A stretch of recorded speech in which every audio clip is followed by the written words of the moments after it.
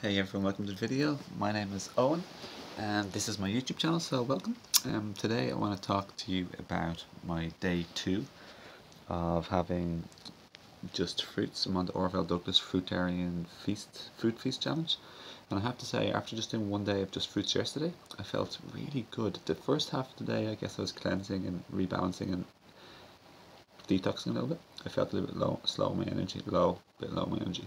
But then the second half was just picking up. And yesterday, then at the end of the day, I felt great. I felt like doing jumping jacks right before bed. Then uh, this morning, I felt a bit tired because just there's no avocados, no durian, no salt, no condiments, just just the juicier, waterier type of fruits. I ate a few dates too. Um, I'll tell you what I ate in a moment. But after having watermelon for my breakfast, I just felt fantastic. Then a watermelon for, for snacks or lunch again, and now I'm finally having mangoes. And it's like I've been up out of bed for six, maybe five or six hours now. I'm just really good energy, you know. I will be able to do more exercise. Nice sunny, nice rainy day here in Ireland. But um, yeah, I just highly recommend joining in this fruit only challenge. I'm going to leave some links to some videos that are inspirational and educational below in the description box below. So you can not just listen to me, but listen to other people who are also doing this and having phenomenal results. Like a raw vegan, like like a fruitarian ninja almost. Like he's a cool like gymnast, like acrobat. He's just phenomenal, like a ninja, doing somersaults and everything. See, there's a difference between someone who does if you eat fruit only lifestyle, fruitarian lifestyle, or even a raw vegan lifestyle, but fruitarian is the best. It's the most simplest everyone. That's the key. Simplest and natural. No other animal or insect makes recipes. No other creature makes recipes. It's just simple.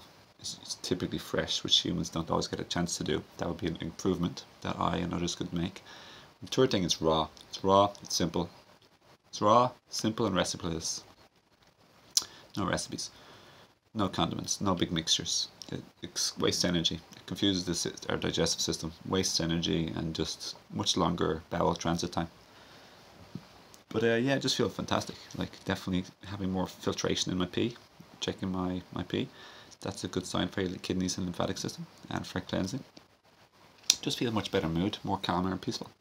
Bit slower in my energy in a, in a more peaceful, tranquil type of way because I'm not really stimulating myself myself with mixtures like salt and avocado, which doesn't really agree with me whatsoever. It doesn't really agree with anyone. It's just more like it's more like just like fun playing with your food, but to your body's detriment. It's more like getting off cooked food addiction, but it's like a get mixture. It's a bridge.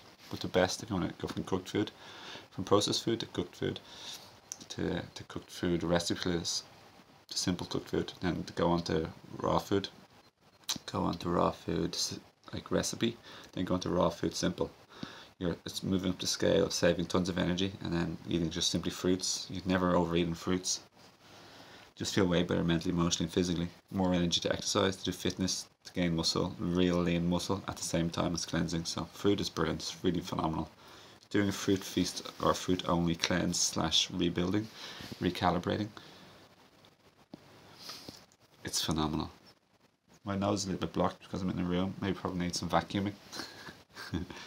maybe change the bedding a little bit because we have two cats in the house and I'm not used to having cats, but two cats at the moment. But uh, it's all about picking ripe fruits, everyone. I'm knowing how to pick ripe fruits, so subscribe to, or check my other videos to learn about how to pick ripe fruits. I'm gonna I'm gonna go go through many fruits, okay? So far I've done watermelon once, but I have a new watermelon video coming very soon, or if not already came actually.